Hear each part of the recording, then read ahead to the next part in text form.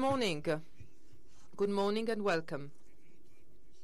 I would like uh, to welcome uh, Professor Lazonick, uh, who is at the Trento Festival of Economics for the first time. My name is Roberto Mania. I'm a journalist of the Italian daily La Repubblica.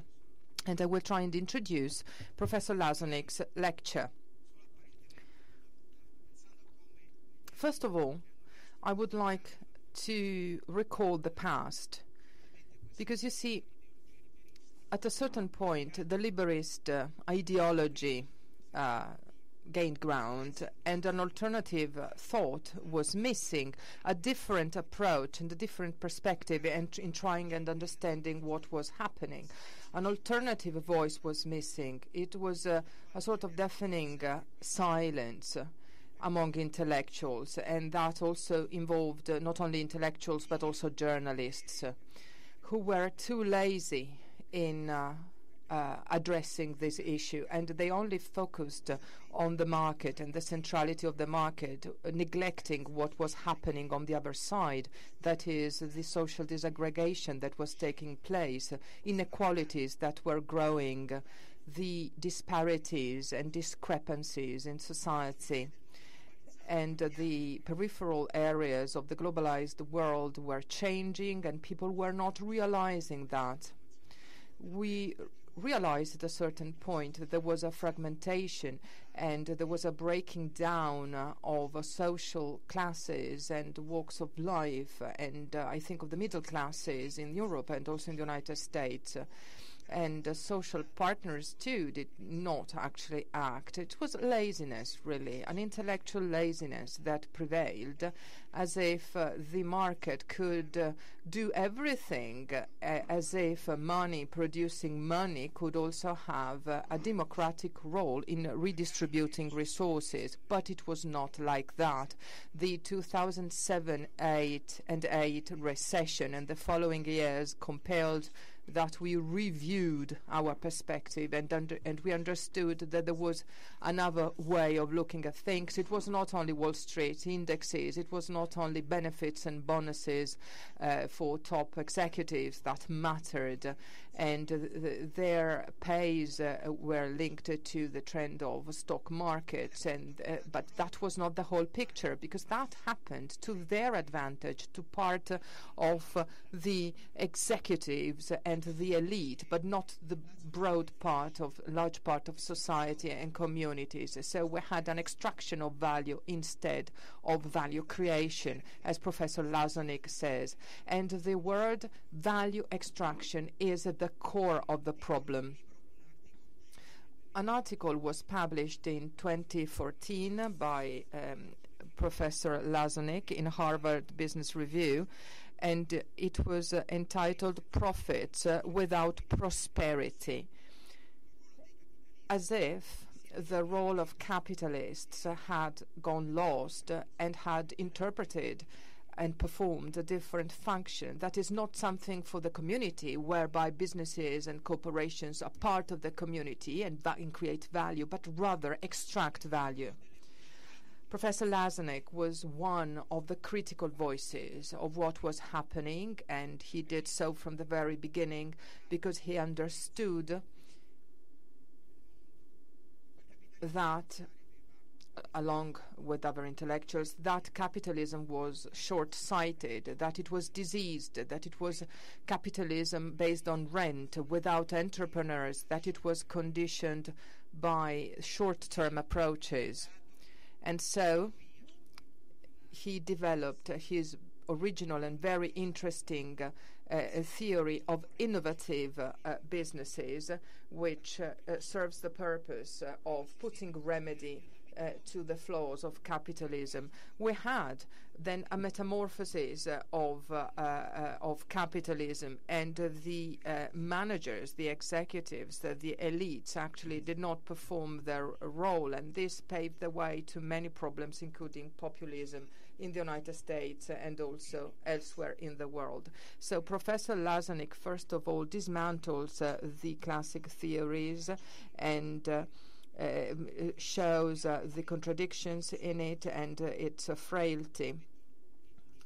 the aspect I would like uh, to focus here is uh, the theorization of the monopolist uh, business. That is the, the frail element. So this is the intellectual direction Uh, uh, followed, uh, and that is supported by several theories, uh, starting from Karl Marx to innovative businesses, which again are part of the community and perform something for the community. And these are terms that we had stopped using in the past years. An innovative business brings together uh, capital and labor and resources in order to produce innovative services. Professor Lazonick wrote that the essence of this is cumulative learning. It is uh, an, an entity of people, uh, of individuals um, engaging in a virtuous and alternative uh, pathway, something that we saw uh, had stopped happening, something that was revealed by the crisis. So the point has to be to create value and not simply pay top executives. I jotted down a number of figures, and they are in- incredible, really. And uh, I understood that no barrier was raised against uh, this diffusion of the liberalist uh, um, approach and ideology in uh, the period between 2004 and 2013, 454 um, uh, S&P uh, companies used $3,400 billion in order to repurchase their own stocks. And that was a percentage of 51% of the, their net income, while an additional 35% was destined to distribute dividends in that in those 10 years, approximately 9,000 businesses in the United States altogether used 6,900 billion dollars for uh, buybacks, and that was a percentage of 43% of their net uh, income, while dividends absorbed an additional 47%. Corporations such as uh, ExxonMobil between 2003 and 2012 purchased uh, on a daily basis at least 300 million of their own shares and stocks. So it is trillions of dollars that instead of being used to pay for labor, for invested capital, and for growth of the community, actually paid and remunerated the top managers. It was a manipulation of the value of stocks, at the metamorphosis of the system of allocation of resources. This happened uh, in all sectors. And here I'm coming closer to the very topic that will be addressed uh, by Professor Lazonick. This system also included the big pharma company model. Between 2003 and 2012, Pfizer, for instance, as also uh, Johnson and Johnson did, used 71% of their profits for, to, for buybacks, uh, and 75% uh, was used for dividends. So they actually used more for buyback uh, uh, operations uh, than what they actually uh, uh, gained. In the United States, drugs uh, have doubled the price of other countries in the world. Big pharma companies state that the, the price is due to the fact that they invest in innovation, but probably it is not that. It is not so. This is a central topic because the big pharma companies produce medicines that that have to uh, that are aimed at improving the quality of our life and make us live longer, improving life expectancy and cure us. So that is the theory, at least. That is on paper. And uh, I, I, think that Professor Lazonick will address on exactly this point because probably there is something else behind all this. You have the floor, Professor Lazonick.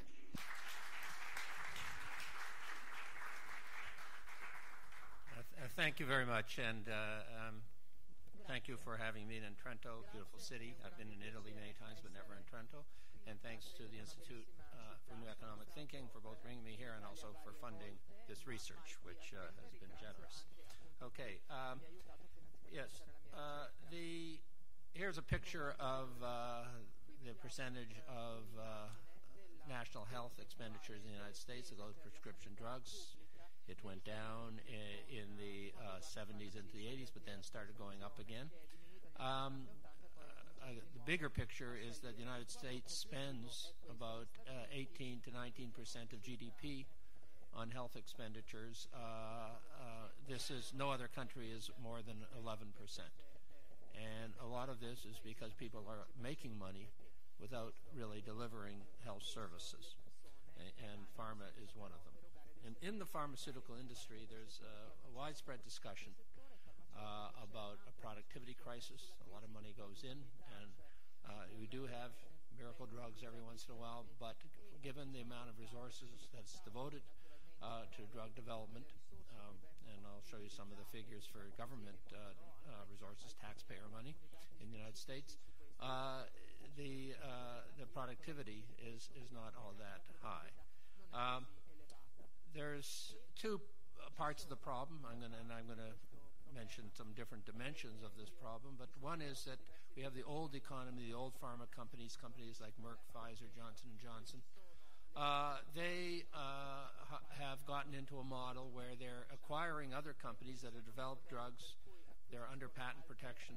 Uh, in 1995, uh, the patent protection was extended from uh, 17 years to 20 years and uh, they then just try to get as much money out of those patented drugs as they can and do very little of their own drug development. And we trace their pipelines, and we can see that this is the case.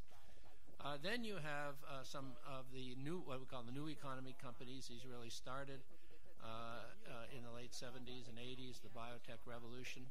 And many of them are listed on the more speculative stock exchange, at least it was in the 80s, NASDAQ and they uh, uh, came up with a number of uh, blockbuster drugs in the 80s that were many people in the industry called the low-hanging fruit. It was there, ready to be picked because of government funding of, of, of pharmaceutical drugs and biotech drugs for, for many decades.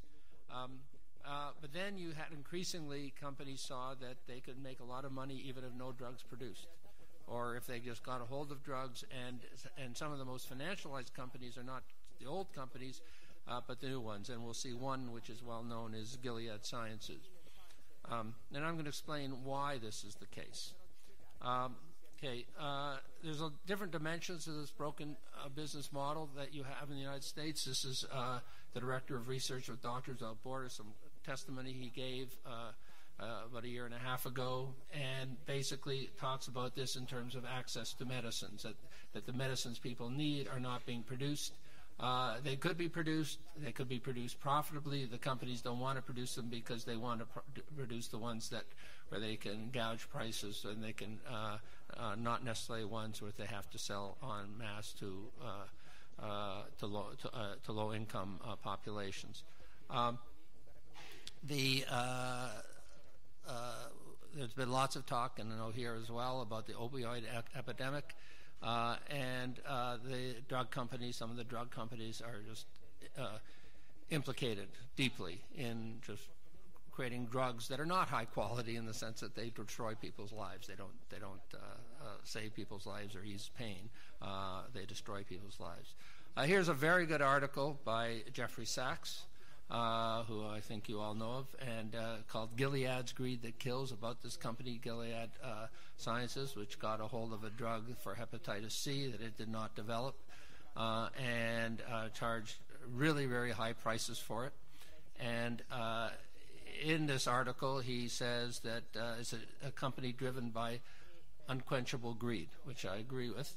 And he says that Gilead CEO John C. Martin took home a reported $19 million last year. That was in 2014 in compensation, the spoils of untrammeled greed. And you can see at the bottom it says that he, that's not what he took home. He took home 193 million. Now I'll explain that. That's uh, part of the complication here. People don't really understand how much money some of these people are making out of uh, exploiting the, the position they have in, in drugs that control over drugs that uh, people need, uh, matter of life and death. Uh, we've had the recent case of a company called Valeant, which is just totally price gouging company, gets hold of existing drugs, tries to gouge prices. It got a lot of publicity. It actually has failed. Uh, we don't need to cry too much, but the, uh, the, the hedge fund guy who was involved in this, uh, William Ackman, said it was set to lose three billion dollars with the with the decline of the stock price. Uh, this is a, uh, uh, uh, a, summary of their business model by a CEO of a company Genzyme, which was uh, uh, a company that did develop uh, on its own in the early 80s uh, with National Institutes of Health funding uh, a miracle drug that is only uh, for a really rare disease. It's about five or 6,000 people in the world use it. Um, now, to, to, understand this, we have to understand what economists can't say about it. Because economists, as was mentioned, uh, do not have a theory of innovative enterprise. Um, economists, in fact, have a theory of the uninnovative enterprise, the unproductive enterprise. And then they call it perfect competition, and they can't understand what's going on in an any industry, really, where in fact the purpose is to get a high quality product at a low cost. That, and that is what raises our standard of living. And the low cost does not come at the expense of low wages. It actually comes with higher wages because you get productivity. And that productivity is generated not just in the pharmaceutical industry, but virtually every industry within companies. It's not generated on the, the labor markets. Uh, and this is, this is the big failing of economics. And I'm going to talk a little bit about this because it has to be understood in this context. Um, the uh, innovation process uh, has three characteristics uncertain, uh, collective, and cumulative. So nobody can say what the outcome is going to be, and that is certainly true in when you try to develop a pharmaceutical drug. You can spend 10 years, billions of dollars, and, and, and, and have a failure. Uh, it's collective. Lots of people have to be working together uh, in a learning process to generate the new technology, to access the markets, uh, and that's why we have business organizations. That's what they do. That's the essence of it. That's the essence of the innovation process. And it's cumulative. It takes time. And it's not just the passage of time, it's because the learning processes take time. So it's a collective and cumulative learning process. And that's why we need finance, uh, what people often call patient capital. We need that money uh, uh, controlled by these companies so they can get from the point in which they make the investment to when they finally have a product to sell in the market and can generate some uh, financial uh, returns from uh, making that investment. And again, it may never happen. It's uncertain. So, and often companies fail, but enough succeed that we have, whether it's Italy, United States, France, Germany, uh, Korea now, Japan, high standards of living because of these innovative enterprises, essential to understanding the economy. Okay. Now, there's some characteristics, just, well, I'll go over very quickly, of the innovative enterprise that need to be understood because the innovation process is uncertain, collective, and cumulative. Uh, and these are what I call uh, behavioral conditions, and I show them here. Uh, strategic control. It matters who really is running companies, what their incentives and abilities are. And if the people who are running these companies do not have the ability to understand the innovation process, they're not going to be able to lead the innovation process. Often, if, even if they do understand it, uh, we'll see that they don't have the incentive to uh, uh, sustain the innovation process. They have the incentive to make lots of money for themselves in any case, and this has become part of the broken U.S. business model. Uh, you need to integrate people into this learning process. That means you have to share the gains with them. The, the gains do not just come from themselves, they come from the very productivity of the people, but not just individually, collectively. And in some industries, it's more complex, some industries, it's less complex. In pharmaceutical, it's very complex, those learning processes. And then you need financial commitment. Uh, to sustain that process. So these are what I call the theory of innovative enterprise. This is what I think in every introductory course and everywhere in the world people should be learning about no one learns anything close to this, except if they take my courses. Um, if you are successful in this, you get a high quality, low cost product.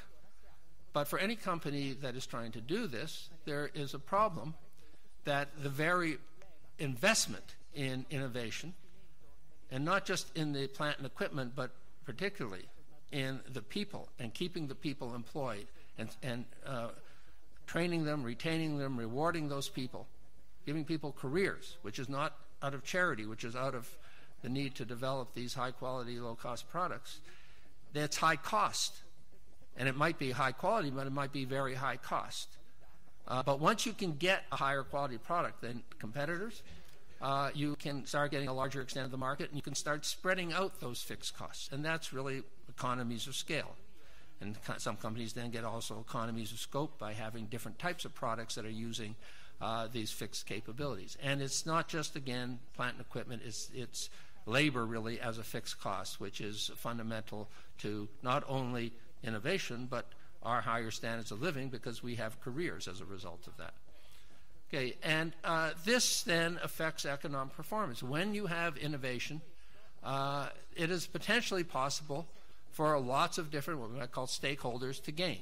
And you can see them here. I won't go through them all, including consumers who get the high quality, lower cost products. And then when we have this and we add it all up and we have enough companies doing this in the economy, we have what I call sustainable prosperity. We have at least a foundation for what I call stable and equitable growth. Why? Because people are, have careers developing these high quality products. They get a share of the gains. There's a share of prosperities. This, again, does not happen on the labor market. It fundamentally happens in these major business organizations. And we get economic growth. And this is what we want. We want stable and equitable economic growth. We need to have innovative enterprise. And this goes way beyond pharma or any other industries. This is generally true. Now, if we look at the U.S. economy, these are some data on uh, the size of firms. We know we have a large firm. Now, in Italy, we do have the phenomenon, which I think is a very important one, of uh, the industrial districts. Uh, some are more fragile than others. It's not always small firms, it might be a collectivity of firms. But in the United States and uh, in many other countries, and even in, in Italy in certain sectors, of course, uh, you have very large companies uh, that compete on, on global markets. And in the United States, basically, if you look at just the companies, uh, 5,000 people or more on here, uh, average over 20,000 employees. That's very big companies, but they they are uh, about a third of the uh, business uh, se- sector labor force, which is about 81% of the total in the United States, 38% uh, of payrolls, and about 44% of revenue. So there's about, if you take that cut, about 1,900 companies. What they do uh, determines how the rest of the economy uh, uh, operates and performs. Okay, now in the pharmaceutical industry, as in uh, almost every in, and every across the whole U.S. economy, uh, we have a disease, and it's called maximizing shareholder value. It's a disease with which uh, I wouldn't necessarily take the people sitting here as as, as a sample, but uh, I would say that if you did a survey, 99% of economists would say yes, it's good for companies to maximize shareholder value. That leads to efficiency in the economy as a whole. Uh, that's, I'll, I'll, explain very briefly why that's highly problematic and why it's wrong. Um, but uh, when you do that, you end up having the phenomena which were mentioned in the introduction uh, people at the top uh, making uh, uh, extraordinary or taking, I should say, really extraordinary remuneration, and and a lot of people not not getting very much. Uh, companies buying back their stock, distributing uh, uh, Uh, uh, dividends, and uh, buying back stock from shareholders, and it, it, pervades the U.S. economy, but it pervades the U.S. pharma with a vengeance because the U.S. government gives uh, these companies lots of advantages in generating drugs that they don't have to pay for, like government spending, high drug prices, and they, they've used this to enrich rich, uh, the, themselves, CEOs, and increasingly these hedge fund people, although some people like Ackman lost some money, that's too bad. Uh, Okay, now the people who put this forward are called you know, agency theorists, and the, the notion it's rooted in the theory of the market economy, neoclassical economics. And the notion is we've got a market economy out there. Everybody gets uh, a guaranteed return for labor, whatever the products they're producing, except the common shareholder. They're the only ones who take risk in the economy. And therefore, if the, if the company generates profits, they should control what happens to those profits. And if they take losses, they, they'll take losses. And when there are profits, uh, they don't necessarily just leave them with those companies. They'll go and take them through the financial markets, particularly through the stock market, and allocate them to their more efficient uses. And this is uh, the theory of, of, of how you should allocate resource in the economy and the role of shareholders in the economy. Uh, this is uh, the guru of maximizing shareholder value, a, a guy named Michael Jensen who brought this uh, along with Chicago School Economics uh, to the world in the 70s and 80s, and then he was hired at Harvard Business School in 1985, and I was there starting in 84 uh, and over the time when after he was hired. No one was talking about this ideology in 1984 at Harvard Business School. Everybody was talking about it after, and this was also coincidentally uh, the era of Reaganomics, the rise of Wall Street, people not going into industry, going to Wall Street, and the growth, uh, the beginnings of growth of huge in- income inequality. And, and this theory, if there is a legitimizing theory, which there is here, it's responsible for it. And if you want to pick one person who is responsible for it, it's uh, this particular guy, Michael Jensen. Okay, now what's the critique? Fundamental problems with, with their assumptions. Uh, the uh, shareholders are not the only ones to take risk. In fact, they take very little risk because they just buy and sell shares because the market's liquid and they can sell those shares very quickly if they don't want it. It's what is long called the Wall Street walk in, in the United States. Uh, who takes the risk? I, as a taxpayer in the United States, uh, when I pay my taxes and it goes to fund roads or it goes to fund the National Institutes of Health, which we'll see some of the numbers, I'm taking a risk that the companies will not use this well, these resources we give to them. And even if you have a given tax rate, uh, I won't get the return because the economy won't do well. Okay, now if it does and we have a given tax rate, we might get a fair return. But there's also political, that's an economic risk that they won't do well. There's a political risk that they'll start arguing that we need lower taxes in order to do well, which is precisely what they do, being legitimized by shareholder value ideology. Uh, and workers face, face, face risk as well. It's a different type of risk. If I go and work for a company and I'm involved in a collective and cumulative learning process, uh, I am generating the products of the future, the productivity of the future, and I would say everybody is involved in this in some way, unless you're just the most irre- uh, replaceable commodity, uh, then I'm going to get the gains. Not even if I'm paid today, I'm going to expect the gains in the future, and I'm going to generate, be part of generating those gains in the future. Someone comes in and says, "No, those that's my money." They're they're taking my money. That's basically what maximizing shareholder value did. Jensen disgorged the cash flow belongs to shareholders. It took the workers' money, uh, and sure enough, my article Prosperity would say that you know, I tried to explain this in terms of the growing inequality of income distribution in the United States that everybody knows about. The irony of shareholder value ideology is that shareholders take very little risk. They just buy and sell shares, and they don't actually invest in the productive capabilities of the company. I can give you an example uh, outside the pharmaceutical industry, uh, but a relative uh, uh, new company, Apple. The only time anybody ever, Apple ever got any money from the public, public stock market was in 1980 when it did its initial public offering. It got $93 million, which is nothing. And, and, and even Steve Jobs had sold all his shares by 1985. So uh, the, the, current shareholders do not, have never funded that company. They're, they're going into the company to get dividends, to hopefully a higher, higher stock price, but they do not fund the company. So it's a total misconception. Uh, foisted on us by the theory of the market economy that stock markets actually fund the economy. They don't. They're a way of taking money out of the economy, and it's always been that way uh, in the United States. Um, the. Hmm?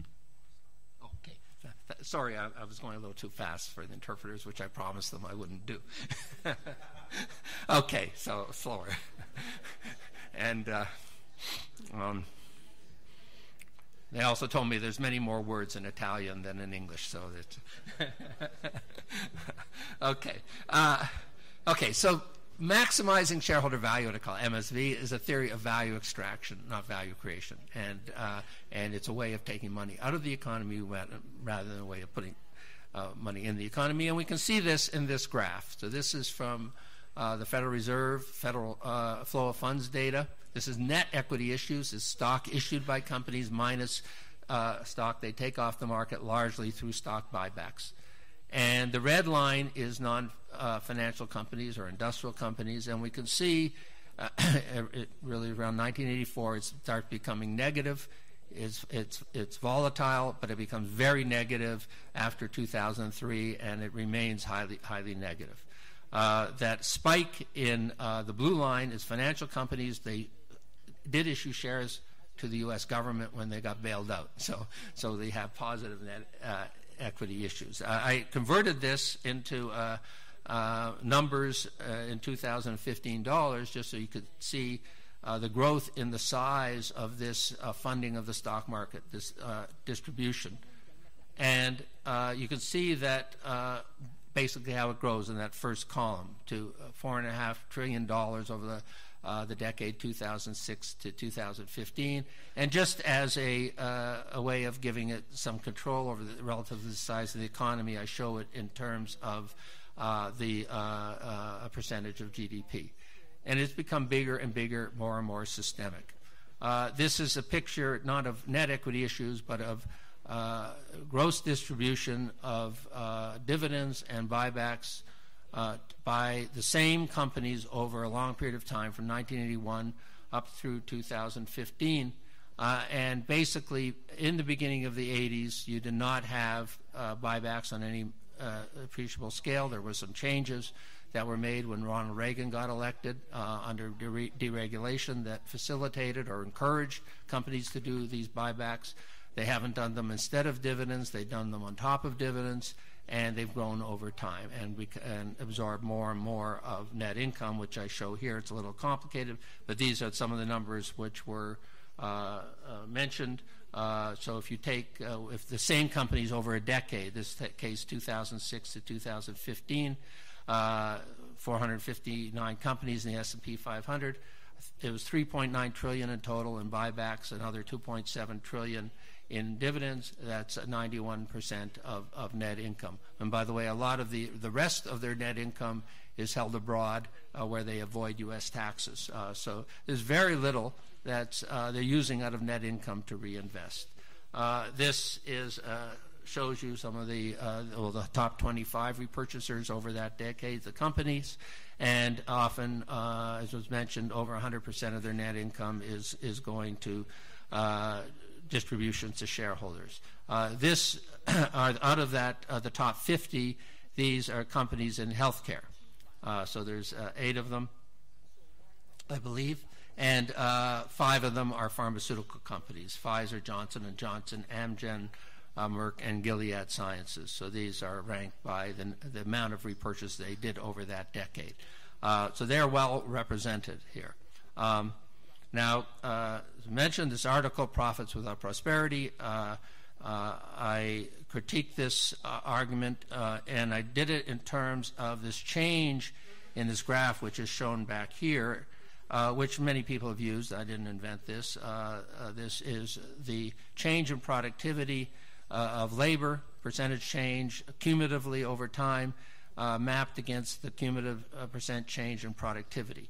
And uh, up until the mid 19, late 1970s, uh, rate of change in labor uh, wages uh, tracked the rate of change in productivity.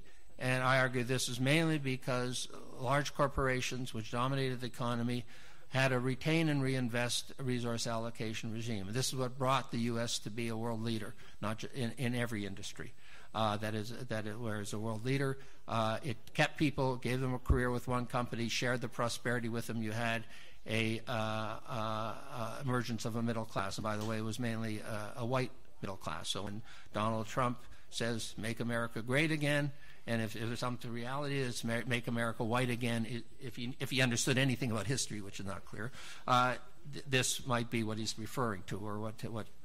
but that broke down uh, in uh, the uh, late from the late 70s, and increasingly you have this gap between productivity and wages, and now even productivity is slowing. Okay, so you you start having a problem, and this problem is because I would argue with you know shareholder value ideology, just taking money out of company, going from what I call retain and reinvest to downsize and distribute.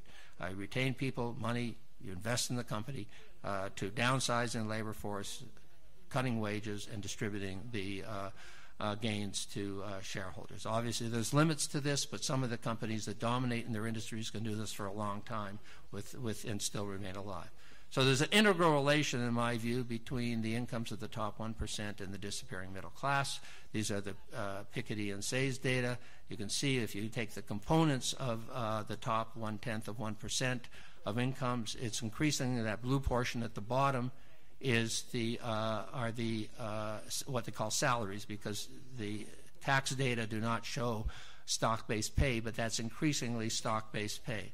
Uh, here's the data on uh, stock based pay of the 500 highest paid U.S. executives uh, each year from 2006 to uh, uh, 2015.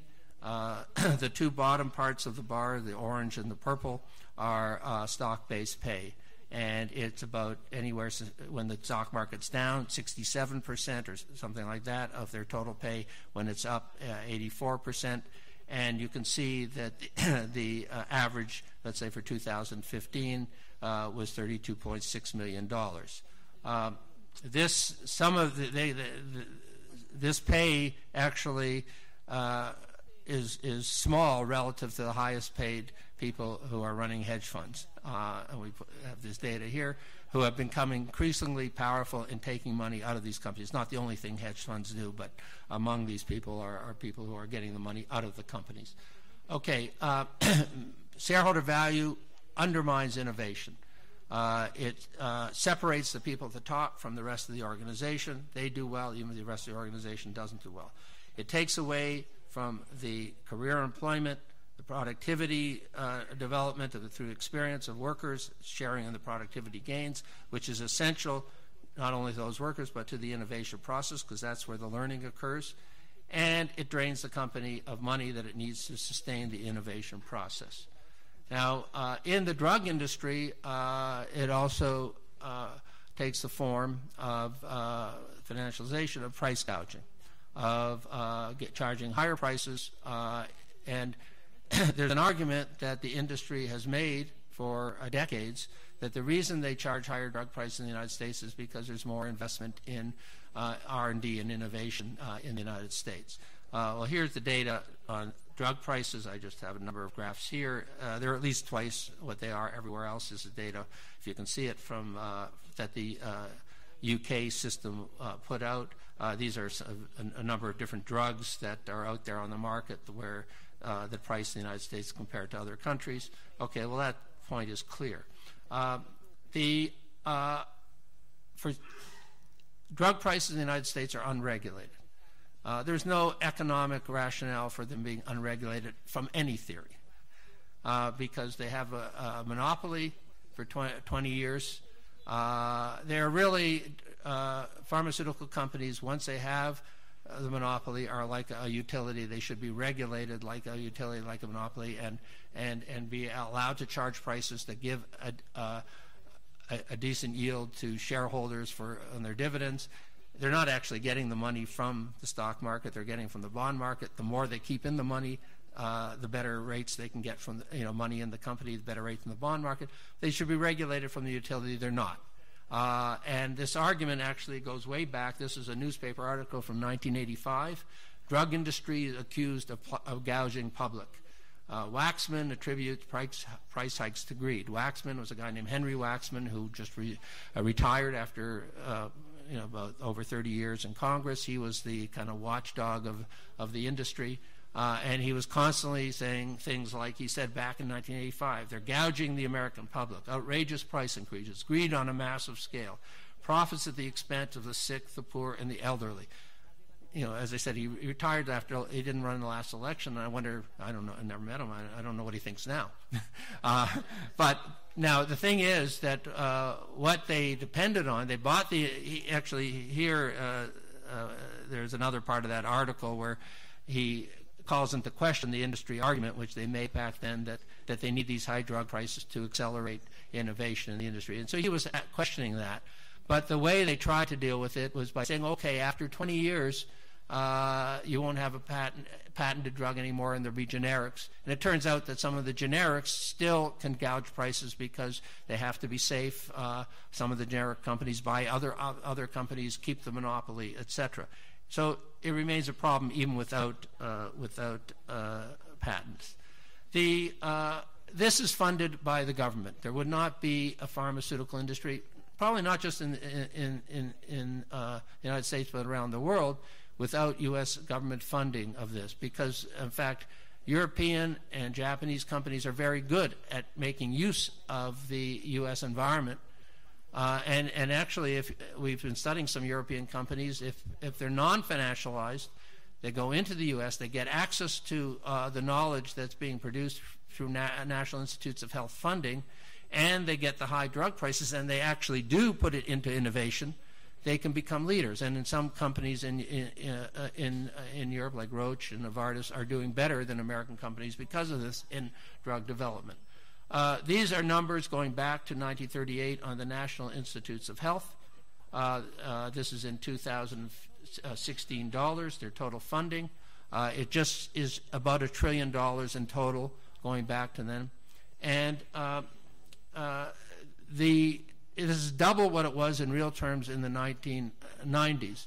Now, uh, it actually hasn't increased innovation. It increases a lot of startups who get listed on the stock market without a product, and people make money even if no products produce. Uh, uh, we call them productless IPOs or PLIPOs, and you do not uh, actually get, in many cases, uh, drugs developed, but you get people making lots and lots of money through speculation on the market uh, uh, about these companies. They're also supported by something which Europe adopted in 2001 uh, called the Orphan Drug Act to support uh, rare and genetic di- uh, diseases. Um, we uh, did uh, looked at all the blockbuster drugs, drugs that in any one year had a billion dollars or more in sale, and really the modern industry, the industry as we know it now, was based on orphan drugs. So this, these are the orphan drugs uh, from 1991 on when a lot of these drugs started coming onto the market. And uh, these are the ones, the non orphan drugs uh, that were blockbusters. And some of them actually are derivative of orphan drugs. So that was another part of the support the government has given to the industry.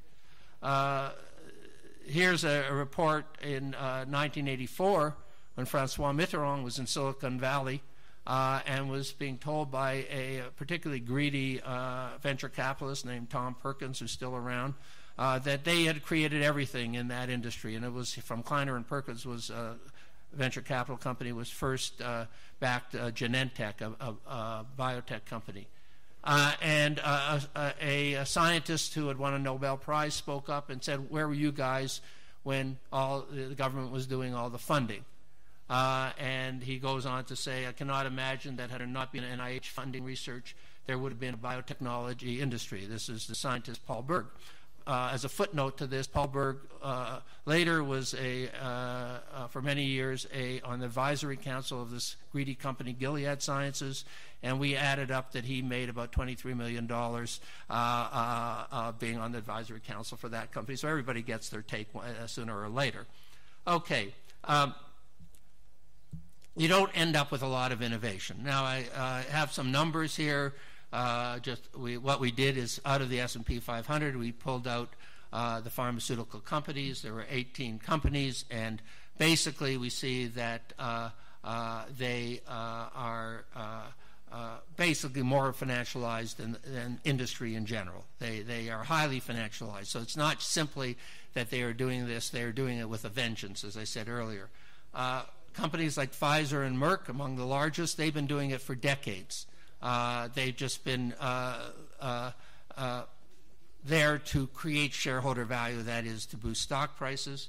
Uh, we had one article that was actually uh, done at the request of INET. and we wrote an article about Pfizer's, when Pfizer was trying to go to Ireland to get out of U.S. taxes. And the CEO said in an interview that they couldn't compete because of U.S. taxes. And then we, at the bottom there, uh, we looked at what they had spent on buybacks and dividends, five times what they had paid in U.S. taxes. So he said, and he said that, that U.S. companies were competing with one hand tied behind their back. So I then kind of photoshopped him uh, with some golden handcuffs, and if, you know that's why they can't compete because he wants to have his high executive pay. Uh, Pfizer is among the worst. It is probably is the worst of the old economy companies just gouging prices. And uh, uh, there are here are some more data on now uh, the explosion of executive pay. Some of these companies that started in the late 80s, uh, early 90s, Gilead Sciences was one of them. They were really started just to make money out of the drug industry. They saw that the business model was there and they were going to exploit it, and they've exploited it very well. Uh, this is, uh, we took for every year from 2006 to 2015, a little small to see, but the top six uh, uh, executives by what they're paid in the industry and the percent from stock-based pay. Uh, Gilead Sciences CEO John C. Martin, who I mentioned before, is in every one of those years. He starts at number six and ends up at number one. Um, the, they are doing again this. They're doing this to a more extreme than, than the rest of the industry. Uh, there's another problem here, which I'll just talk, touch on briefly. Again, research we did for INET, uh, that everybody's measuring executive pay wrong. Uh, because they're using why are they well basically why they're they using it wrong because of crappy economics they're using Black-Scholes Merton option pricing models which assumes there's not much volatility in the stock market when in fact that's what it's all about that's how you get high executive pay so we've gone through this. I won't go into any details of this, but if you actually measure it correctly, and this is what I mentioned about this guy Martin making 193 million eh, in uh, 2014, when his, it was reported that he made 19 million, that's a phony estimated uh, um, number that comes out of bad economics. And what we know what he actually made. And they, they have the same number for 2015, which is his last year of CEO uh, 19 million, which was prospectively what he might get from the, the uh, stock options that he had. In fact, what he took home was 234 million. So it was about 400 million in two years. Uh, nobody knows how much uh, uh, uh, exactly Gilead expended developing the drug, which really created a bonanza for them, the two drugs, Sovaldi and Harvoni. Uh, but nobody thinks it's more than 200 million because they bought the company for about 11 billion. Of course, buying it for 11 billion, they knew that they could, uh, in the United States, just jack up the price as high as they wanted. Uh, but he, if, if that's true, it was 200 million. He himself uh, had nothing to do with developing this drug, other than uh, he's really not a drug developer. He's a, he's a financial engineer. He got 400 million out of just for those two years. there's another company that's been in the news, was in the news. Uh, this is an innovation that happened in 1977, uh, gouging the price of uh, EpiPens, which are injections that you get if you have allergies and kids use them in schools. and they report the wrong numbers on, on that CEO. Okay, so there's a lot of problems here, and I'm coming just toward the end of this, and I'll wrap up with what should be done about it. Uh, I recently have something on the INET website about the problem of uh, not just people who have blue collar jobs, lost work, or you know a lot of the focus on now now that they're the base of this terrible person who's uh, running the U.S. government, uh, but. Uh, uh, it's it's happening to PhDs. It's happening to all kinds of people. They're not getting the careers that they need. The scientific community is not really aware of what's going on. So this is a report called "Restoring the Foundation uh, and it's about the need to have more investment uh, in R&D. And they said there's not enough R&D. And here, where I kind of bolded this this sentence in there, which is in their executive summary, uh, they said you need to have these breakthrough discoveries. It says yet companies finding it increasingly difficult to justify such long-term investments in a market environment focused on short-term results have made it clear that the federal government must continue to be the primary funder of basic research. Now, I could say something really crude here to these people, but why would you accept that market environment as a given? Okay, and that is not the problem. They're getting plenty of government funding. Now, overall, government funding is down relative to what it used to be. Again, some research we did for INET, uh, but R&D is actually not down. And in this industry, government funding is way up. So straighten up the act and, and get these companies to be using the money that they're getting to invest in drug development. Okay, how do you do this?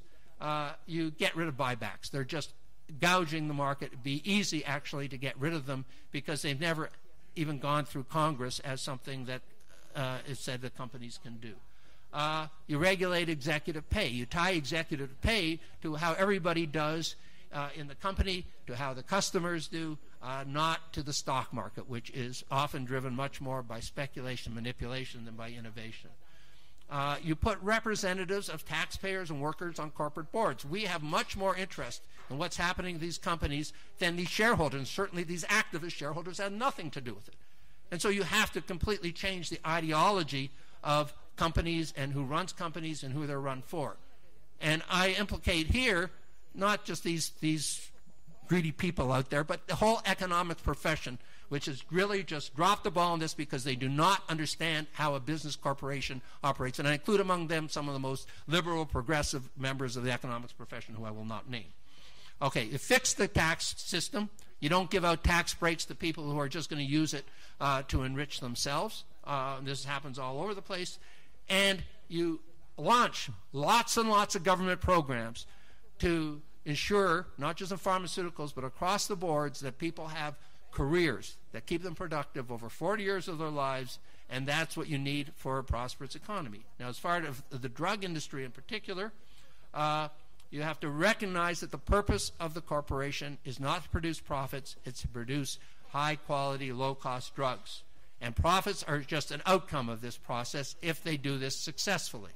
Uh, gouging the public, producing drugs that are just the same as drugs that are already on the market or actually hurt people is not uh, the purpose of the corporation.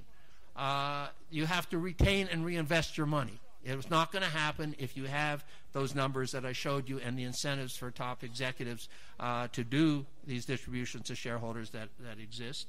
Uh, you have to recognize that broad, pharmaceutical drugs are necessities. So there is a need to have regulation of, uh, of, of, of, of, drug prices. Um, and dividends should just be something that you pay when everybody else has been satisfied, uh, which is the, what dividends are supposed to be.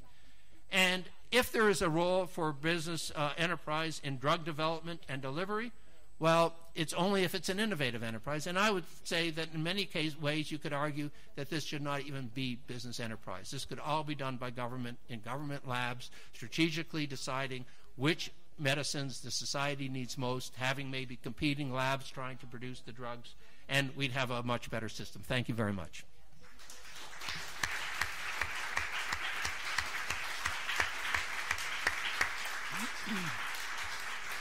Grazie, grazie al Thank professor Lazzoni che ci ha aiutato a guardare really, il mondo delle grandi corporation really americane in un altro modo, quasi una, una revisione dell'impianto intellettuale come ci invitano a, fare eh, eh, Mariana Mazzucato e Jacobs nell'introduzione Jacobs di un libro che è appena Mariana uscito, Ripensare il capitalismo.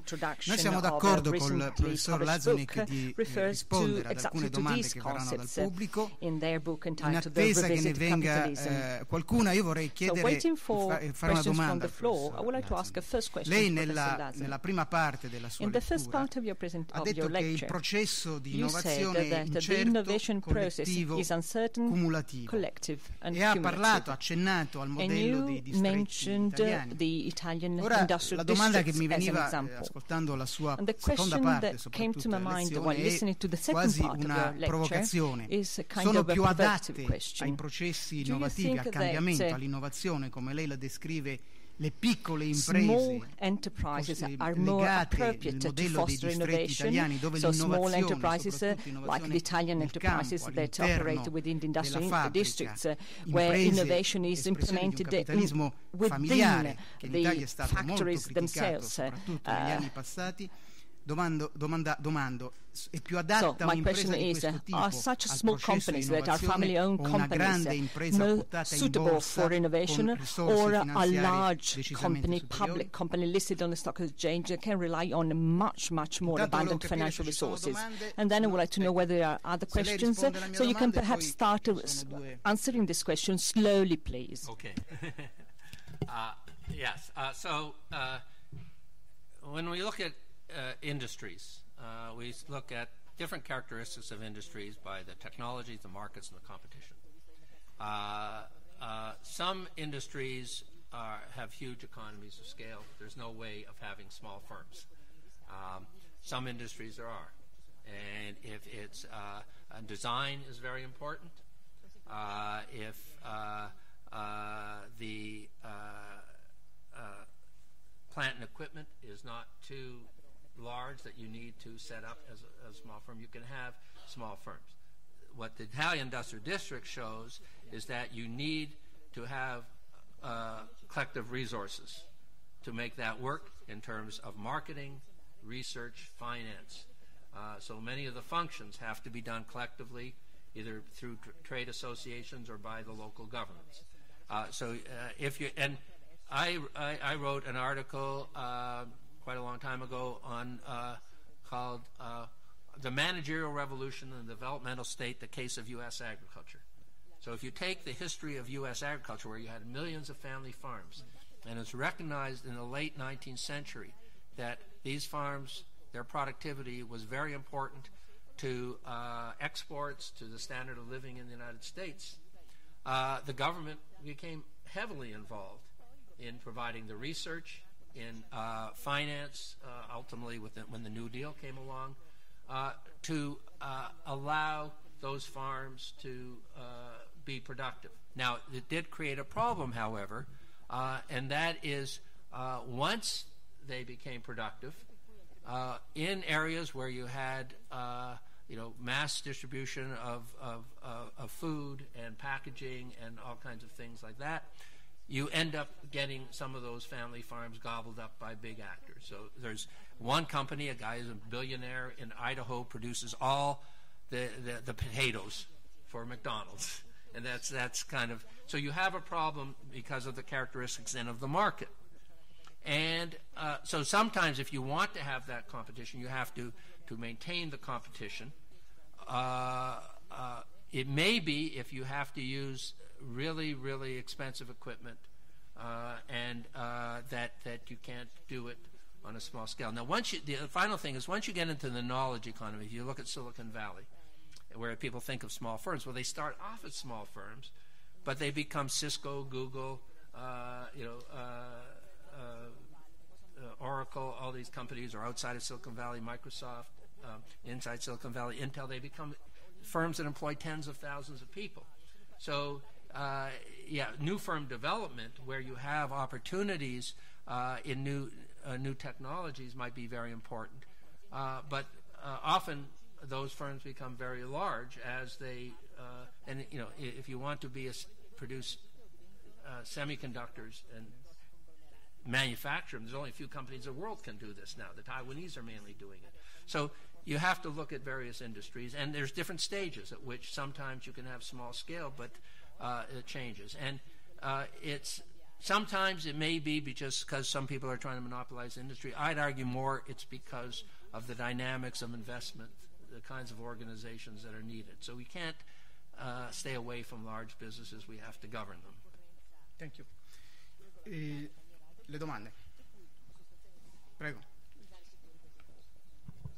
Um, Hillary Clinton nel suo programma, eh, ripeto, Hillary Clinton, Clinton in her electoral program suggested to step in diciamo, in the pharma industry because uh, such inequalities, uh, such discrepancies are well eh, known to the, U, uh, the US public. But then, of course, as we all know, Hillary Clinton was not elected and Mr. Trump was elected instead.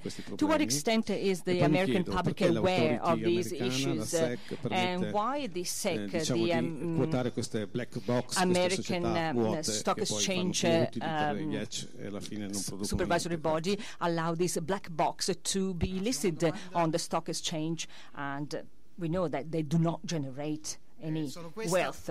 So, is there only one question? So, we'll let the professor answer. Okay. Well, uh, the uh, first of all, the the New York stock, uh, the the stock exchange in the United States. The NASDAQ Stock Exchange, which was created in 1971, uh, it was really the first uh, big example of internet working using computers uh, to create a price quote from a lot of different buyers and sellers. Uh, the National Association of Security Dealers Automated Quotation System, NASDAQ, it was for a long time called the over the counter markets because before then you had a lot of local dealers, security dealers, getting on the telephone, calling people, do you want to buy this stock or that stock? And now they could do it over uh, electronic system and, and, generate a highly liquid market, national market, and even that people internationally people can invest in. That actually came from uh, the uh, the U.S. government, the Security Exchange Commission, the regulator of the stock markets, seeing uh, that uh, there was a lot of spin-offs in the late 50s uh, and 60s uh, in electronics, which they call glamour stocks, and they said we've got to get these companies on the stock market. Uh, and the idea was that they were going to raise money that way. but in fact, it it wasn't the way they raised money. It was the way people took money out of the companies. It uh, and and it made the stock market much more speculative. Compared to that, the New York Stock Exchange, although it's changed since then in competition, uh, you had to have much more of a profitability record, much more market capitalization. Uh, so people, when they uh, put their money into the New York Stock Exchange, uh, it, it, it wasn't going to be as, as speculative. In fact, you, and it would take maybe 15 years before you could do initial public offering on average rather than three or four years. Now, nevertheless, the stock market has always been a gambling casino, uh, even for uh, the best companies. And if you may know, uh, uh, the best companies in the United States, I don't know if they use this term here, are called blue chip stocks. Uh, they started using this term a lot in the late 1920s and the boom of the 1920s, and these are the best companies on the New York Stock Exchange. The blue chip is the most valuable chip in a gambling casino. That's so it was recognized that nobody knows where the stock price is going to go. And of course, if you put your money into the stock market in 1929, you might have thought that you were safe with these companies, but you were not. And you know, it's only gotten worse. Uh, okay, so that's that's just a problem of the stock market, and it, and it's it's it doesn't it reflects as much speculation and now manipulation, things like buybacks, as it does innovation. And when it's innovation, it's after the fact. People then see, oh, that's you know, Cisco was a fast-growing company, and they re- recognize this after it's happened, and then everybody piles in and speculates, and then it goes up, and then it comes down. So the general public actually does not get the benefit of the, that innovation. Now, if you really, uh, if you know, if in 19, 2001 you bought Apple stock at $10 and you held it to September of 2012, it was worth $700. And uh, if you had the faith in that company and, and that's where you wanted to put your money, you would have made a lot of money because they actually came up with innovative products. But but that's not the way most people are, are investing. Now, as far as Hillary Clinton's concerned, it was another part of the question, was on the, the drug in, uh, prices. It happened that there, uh, during the campaign, uh, there was some really extreme price gouging. Uh, one was by a young venture, uh, a young uh, hedge fund guy who got control of a company and jacked up the price 750 percent of a drug that had been around for 60 years, and this caught people's attention.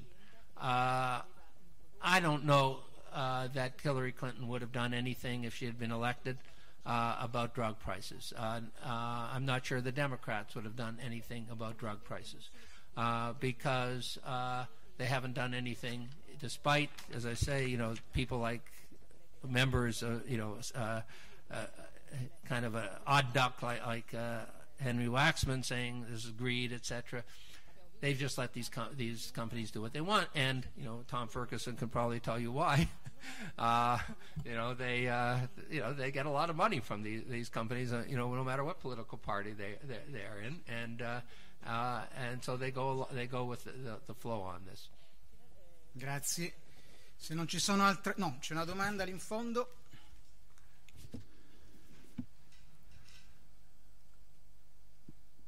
un aspetto che non ho compreso. There is one thing ehm, I didn't nelle proposte che fa il, ehm, il, nostro relatore. In terms of what you proposed as a possible cioè solution to MSV. Eh, ridurre, cioè mettere un, diciamo, dare un limite massimo ai compensi uh, per gli amministratori a threshold uh, for the pay of top executives and banning buybacks. But this is done within the framework of uh, a regulation that takes place at national level. But if that happens within only one state and one regulatory system, then we achieve nothing because these huge multinationals will find a way to gain their money elsewhere. Don't you think so?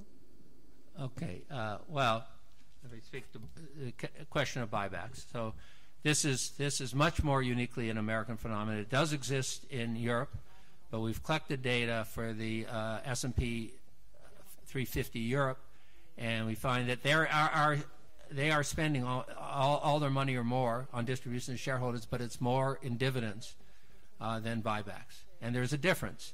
Dividends give shareholders who are holding shares uh, a stream of income. And so dividends are good as a form of a pay, let's say, for retirees or an income for retirees. But too much, if you're holding the stock, too much dividends, even forget about buybacks, can mean that the company is not generating the products of the future, not remaining competitive, and uh, then your stock may be worth very little if you try to sell it. Uh, so that can create a problem. At some point, the dividends will dry up. Uh, so uh, I think if, if uh, first of all, from a regulatory point of view, if you think of it as uh, the stock market is a way, as one place where, where the savers of a nation can put their money, uh, then uh, we want to regulate these companies so they can, if they have extra money that they can pay out dividends after everything else is done, they can pay out some dividends, but they are reinvesting and sustaining not only the company but the employees and the incomes and often the incomes of the people who are going to be who are paying into pensions. Now, uh, the multinationals uh, are, uh, are what they do is they try to take what they're doing in the United States and extend that around the world. In, the, in this case, U.S. multinationals. So they try to do that with executive pay. Uh, they're not as successful uh, as they might want to be because there are sets of social norms and rule, rules. And in Europe, they vary from company to country to country. And so executive pay is not nearly, when you measure it properly, which we've done, is, is not nearly as high as it is in the United States.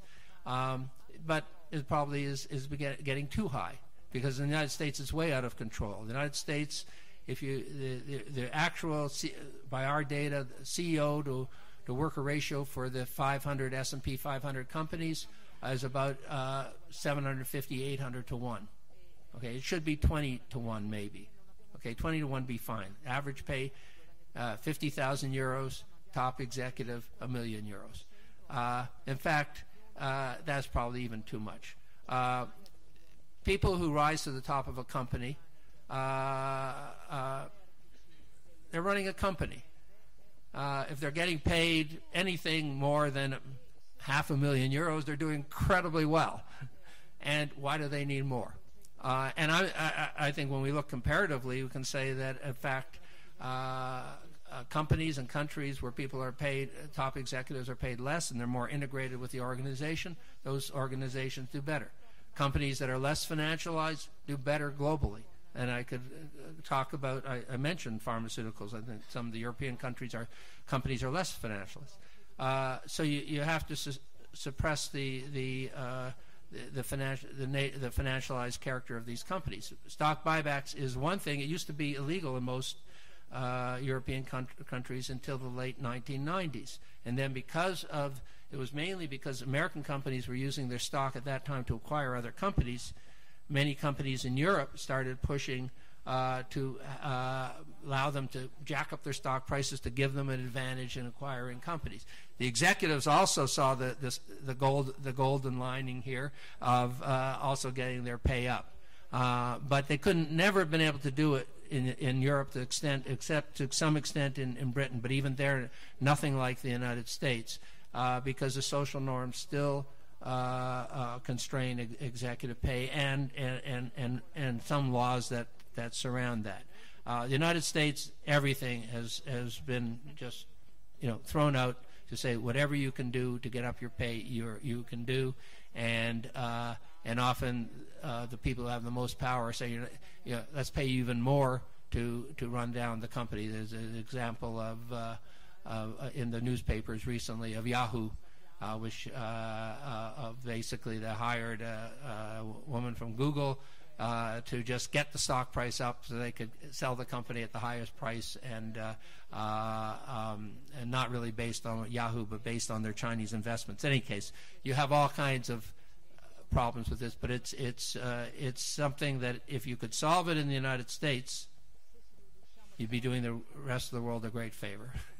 Uh, Grazie, grazie al professor William Lazonick. Thank you, thank you, Professor William Lazonick.